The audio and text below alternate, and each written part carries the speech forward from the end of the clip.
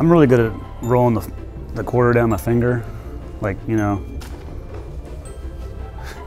You're also a great hacky sacker. I'm a really good hacky sacker, although I haven't done it for years, but I was bragging to them a couple days ago. My nickname was Stalin because I was good at head stalls. I don't get the emoji thumbs up with the alien face. Everyone's sending it to me, the alien face. Everyone, even and I don't like the alien face. And like friends that I really respect are sending me the alien face. Also, I know we both hate those skateboards that that wiggle. I hate wiggle skateboards. That's not that new, but I just was driving by somebody that was doing that yesterday. I, I- a like, guy ran into me. Get a I regular skateboard. in Pasadena yet last week. A guy ran into me on a wiggle Yeah. wiggle board.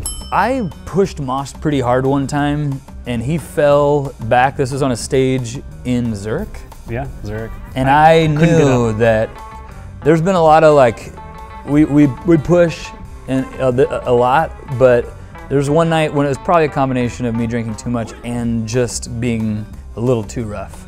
And I probably have. I couldn't. I, yeah, I might honestly have a hundred pounds on him. I mean, that's that. I fell onto. I I have 80 pounds on you. I fell into a monitor and I couldn't. I had the bass on top of me, and it took Gabe and Johnny to like It could have been real back up Yeah. to keep playing. And I had a huge bruise and blood. I apologize. thing. I apologize. So we're everything's Fine. It was fun though. I have. Let's see here. I actually this "Sing Your Life" is an Imbo Morrissey song that I really love, and my friend Taylor did this, uh, and he does he, he does tattoos out of his house in Long Beach. But I always really I love that Morrissey song, and I loved it way before I was a singer, and so I think it's one of those things where like.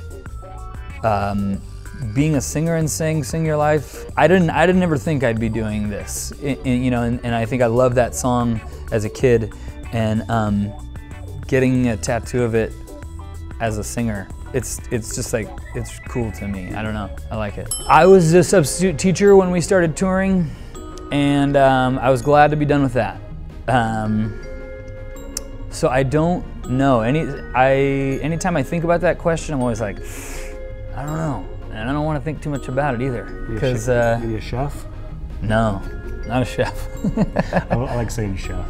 I was a graphic designer and I I was working at a clothing line doing all their T-shirts and fun stuff.